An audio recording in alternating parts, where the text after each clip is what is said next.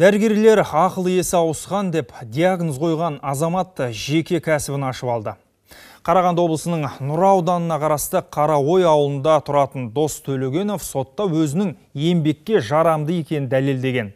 Сал ауруына шалдыққан мен басқа мүшелері сау. Осылайша ол тұрмыстық техникалар жөндейтін шеберхананы іске қосып, жерлестерінің қажетіне жарап отыр. Еңбекқор жігіттің тірлігін аймақтағы тілшіміз Ардақ Асылханұлы көріп қайтты.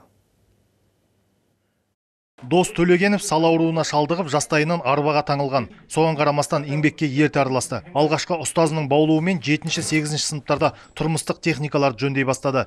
Кейін мұны кәсіпке айналдырып, үйіргесінен шеберхана ашқан.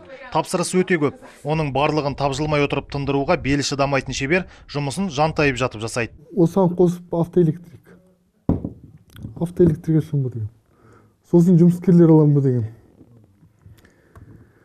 енді хоть айтып тұрамын олар істеп тұрса да сондай сондай пландар бар алдыда Дос ерік жігерінің арқасында жеңілмей келеді. Әуелде оған ақыл есі кем деген диагноз қойған дәрігерлер де болыпты. Бірақ кембағал жан бұған көңілін түсірмей, білімді қабілетті екенін сотта дәлелдеп шықты. жеті сегізінші класста сонымен айналыстым ғой телевизормен сол кезде ол кезде мынау ламповый телевизорлар болады отыз алты мың вольт ток болады ішінде отыз алты мың вольт дегеніңіз сіздің былай отвертканы жай жақындатқанда арасында змейка тұрады тоқтың сол жақындап соны істейтінбіз а енді қазір андай жынды болсам анаға мен жақындай алмаймын да Осыдан 10 жыл бұрын дос шаңырақ көтерген. Қазір жұбайымен бірге алтындай үш баланы тәрбиелеп отыр. Елдің мүсіркегенін жаны қаламайтын қайратты жігіт бүлдіршіндерін де үнемі еңбек сүйгіштікке тәрбиелеумен келеді. Ардақ Асылханұлы, Сайлау Игілік, Әсет Асайынов, Қорытынды жаңалықтар, Қарағанды облысынан.